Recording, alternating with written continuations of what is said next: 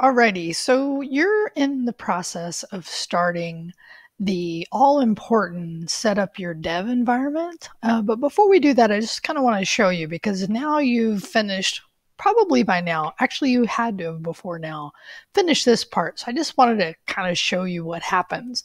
So whenever you do the first thing, which is watch the video here, uh, and then what you will do, oh, actually, sorry, let me change something real quick so that you can see this from the student's perspective. So, from your perspective, what you see is that you have to do this step first, which you hopefully have already done, watched my video that I haven't recorded yet. Um, but by the time you got here, and then at the end, hopefully you submitted your GitHub username. Now, again, you could do this either place, uh, and I'm just going to paste this in but remember, you get that where you get it from, and I've already talked about this, but just that's the username that you're giving me. Okay. So then once you submit that assignment, right, that comes to me. And what I do is I invite you into the GitHub organization. Now, you can move through the next items, right, which is talking about Discord. I hope you consider joining. I think it's a good way to get support for this class. You've done a short discussion board just about who's here and now we're actually moving into the items for this class. Okay, now again, this is actually covering, oh, that's not a great example because I'll record a new one there. But remember, I'm actually doing this for all my classes. So even though you may see, like in this example, I'm going to use CIT 93 JavaScript, but you could be taking 82, 94, and 95. So specifically make sure you look at your own um, Canvas setup for some of the information I'm about to show. Okay, so we're at this one right here. So just to kind of take you back and remember this is always something good you learn in this class is that I have set up things as prerequisites. So once you finish um, things you can then look at uh, like once you finish the uh, start here and just view these items then you'll have uh, week one open to you and this is what I was talking about. So you can either click through the items in sequence, which you need to do anyway, or you can always go back to home to have it show up here. And then all classes will have set up your dev environment and it'll have these items specifically. And we're starting on this first leg of the journey, which is awesome. So I'm just going to go because now I have clicked through that one. And now I'm going to return to the one that I started with. Okay, so once you um, tell me what your GitHub username is, I invite you into our GitHub organization. And I'm going to show you what you hopefully have received, but I'm going to show you an alternative in case you haven't.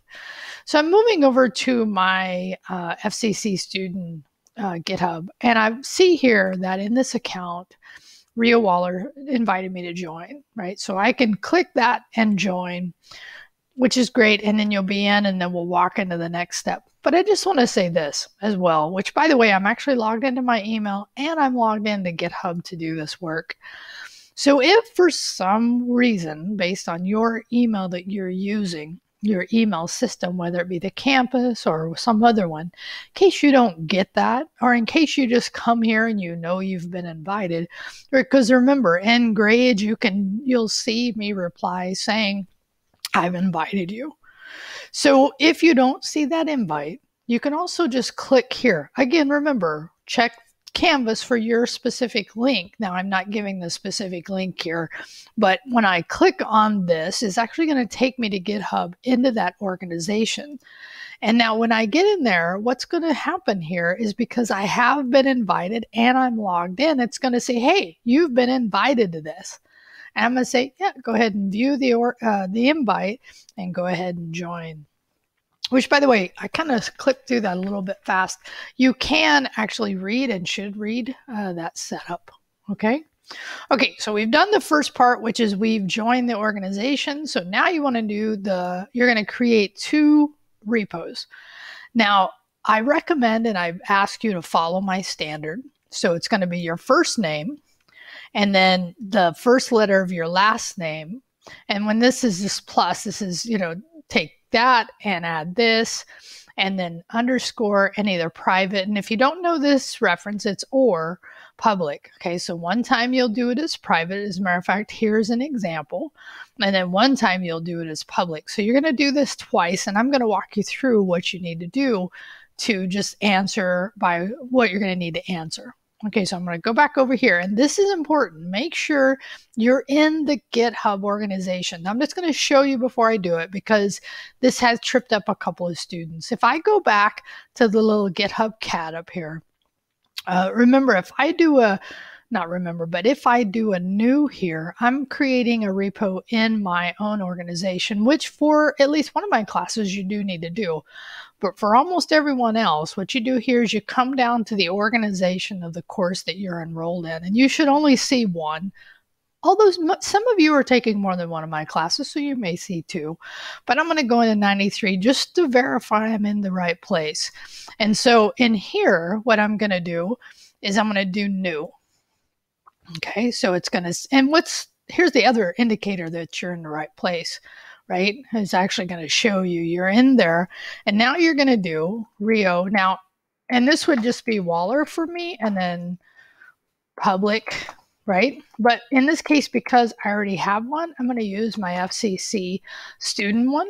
Okay, but again, should be your first name, okay, the la- the first letter of your last name, and I recommend all lowercase here, underscore, and then public, and that way you can always know by the name of the repo that it is, and in this case, let's choose public. Okay, because in a minute, guess what you're going to do? You're going to do this again, but you're going to select private. Now, do do know that the public repo is for that is for that work, and I'll always indicate which one you want it, you'll need to be using. Public is the one that everyone in the course can see, uh, and private is only between you and I. Okay, so in this case, public, uh, we're going to go ahead and initialize a README. We're gonna, not going to add a git ignore. We do that later on in the sequence of steps that we're going to do here. And I'm not going to add a license. So now, and by the way, if you miss any of these steps, what happens is you don't get the create, which by the way, I'm going to go up here, Rails FCC student public repo course. And I could type in the uh, more specific here, but at least this gives me, right? and it's cute. So anyway, I'm going to go ahead and create the repo. Awesome. It's doing it right now. Okay. All right. So there we go. We've created the first one. So now I'm going to come back here and I'm going to do it again, right? And this time, again, now I'm going to do just the opposite, just the other one. So if I did, uh, I did public first, now I'm going to do private. You can, again, just make sure you've done two. So I'm going to go back here. Now notice here, uh, when I'm in here, it actually has a little different interface. That's okay. Um, I'm going to go new. This looks the same, right? Rio FCCW underscore, right? Uh, and then I'm going to do private. Uh, and again, this defaults into private, which is awesome. Again, I'm going to initialize a README file. I'm not going to add uh, git ignore. Same, uh, same for everything else. It's just the different name and the different type that I'm doing. And I create. Okay, so it looks like in this case, I have completed uh, the first step on this journey. Now, I will say it is really important, it's actually mandatory, that you follow this sequence one by one because they all build on each other. Like you can't, um, even though you can pop around, you need to create and join your create join the repo create the repos install vs code and git create your folders and clone them, and then do the git flow. Okay, so uh, I used to have this in one long post, and based on student feedback, I've broken this down into hopefully more digestible items. One thing you can do is I have, because once you go into one of these items, then these open up. I did give a short, I gave a discussion board here for in case you run into any issues and you want to ask questions. Okay, I hope this gives you the instruction you need to be successful in getting this first step done. Now continue through the process. Talk to you soon.